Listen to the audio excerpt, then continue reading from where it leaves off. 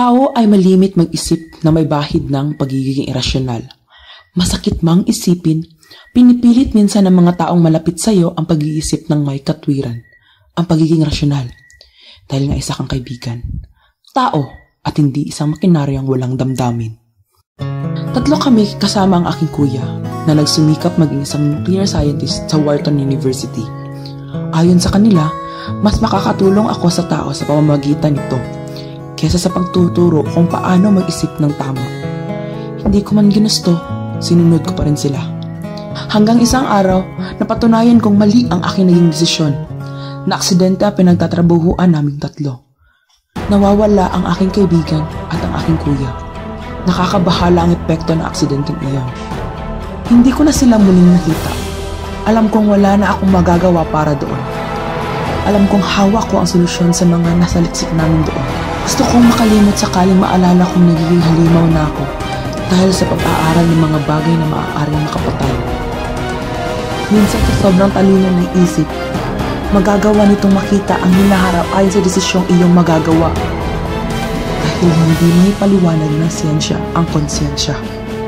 Ngunit, tanging ikaw na nagmamayari nito ang makapagpapaliwanag.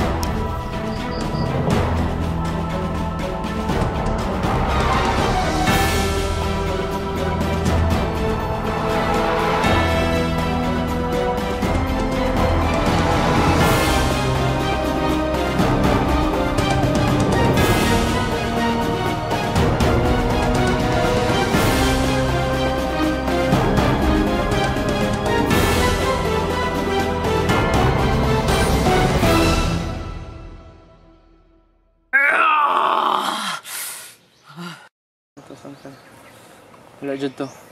Wala lang jud to. Wala lang jud to. Okay lang jud to. Wala jud to. Lupasin lang. Kailangan jud ako tawagan ng papa.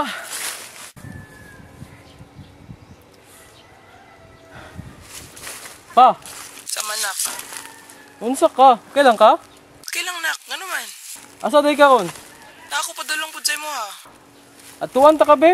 O sige sige, mulat na lang ako dere. Oh, sige sige. Pagalong ha. O sige. Bye.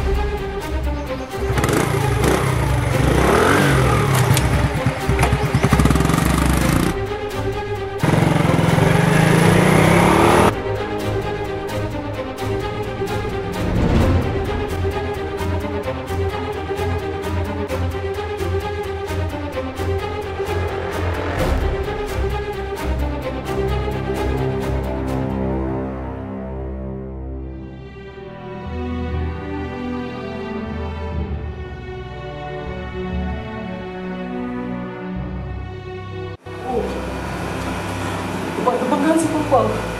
Kaya, nana siya dito sa ospital. Ay, Dili, dili ko kapalo mo sa, sa buhaton.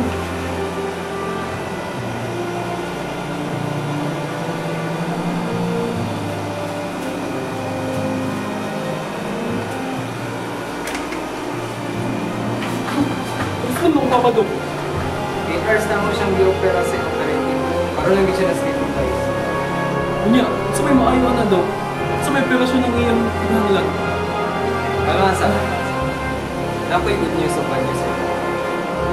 Yes, so bad news do. Saan ang balita do? Matay na yung papa. Nga, nga, na to? Kalmasa, kalmasa. Nakoy good news eh mo ha. Ang good news kay mabuhay pa yung papa. Estimated kay 6 months, pero kailangan siya life support. Pero mag-based siya booking kay brain dead na siya.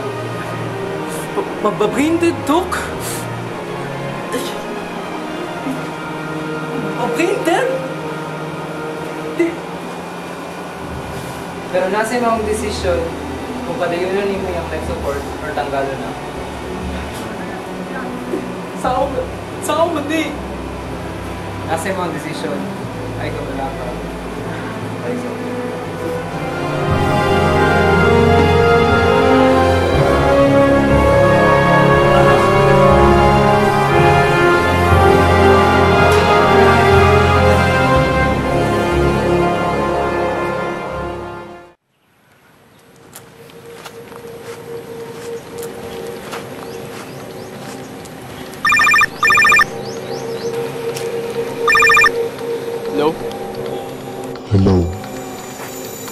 Kinsan eh? Hinumdumi. Kinsa ka?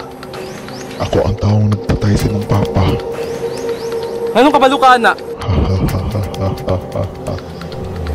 Anong kabalo ka na? Kinsa ka? Hinumdumi ako na ay. Kinsa ka? Tupag! Kung gusto ko makabalo, atuan.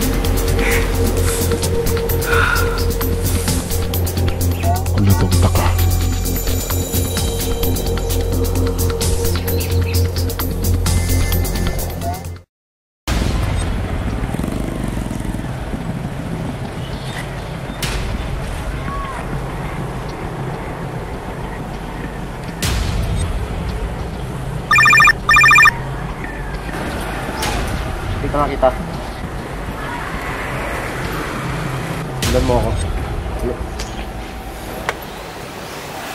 Sige, sundan ka.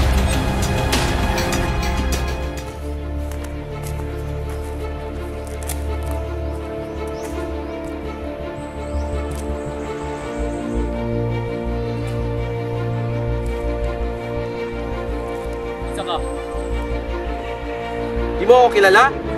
Anong gipatay ni mo akong papa? Ikaw! Mo kami iniwan? Kuya! Ako to! Kapatid mo!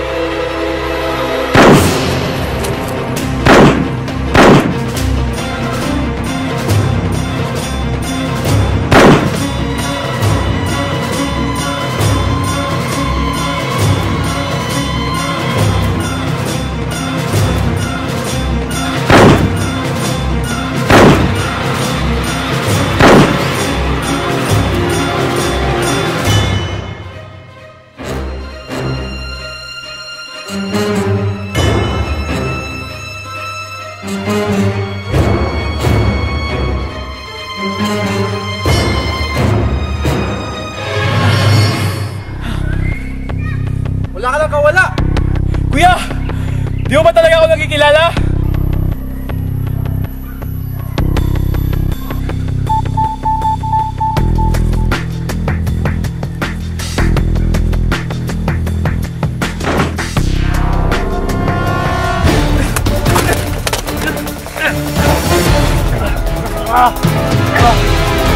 Kuya!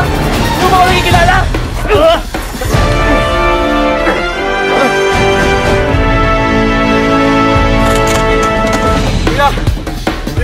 Naalala? Nutel! Kuya ka lang kuya! Patayin mo na ako!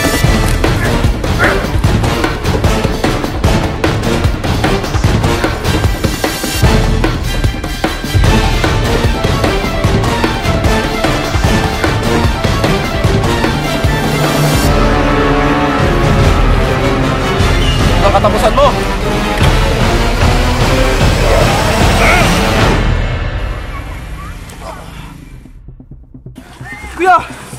Kuya!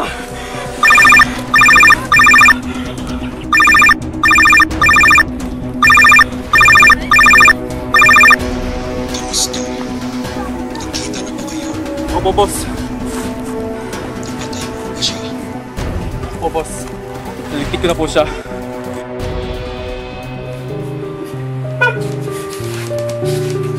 Patay ako kuya. Patay ako kuya. Patay na akong papa. Masahon ako pagbalos siya.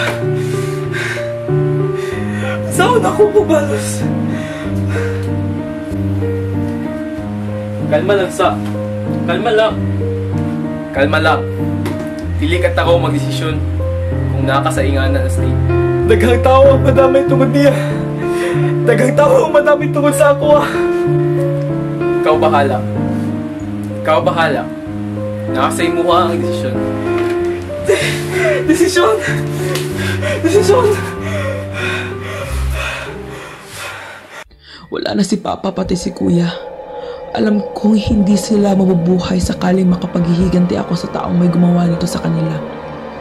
Ngunit, ako, ako ang mabubuhay sa kalungkutan at paghihiganti. Siya ang nagkamali Sa kanya ko igagawad ang pagsisisi. Boss, tapos mo na ba ang pinapagawa ko sa'yo? Tapos na po.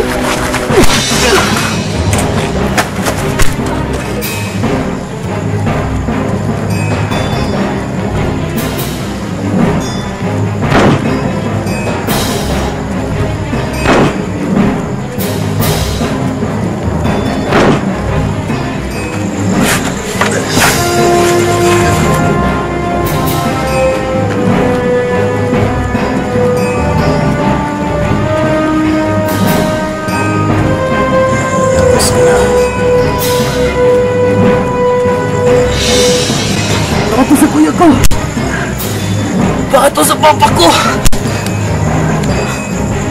Sa lahat ng ginawa mo?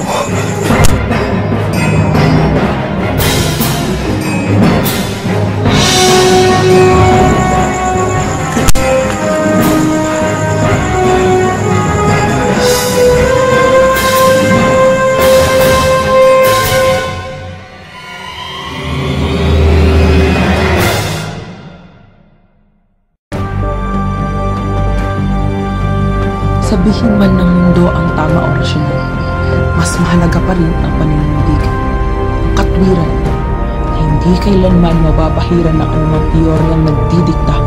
Ito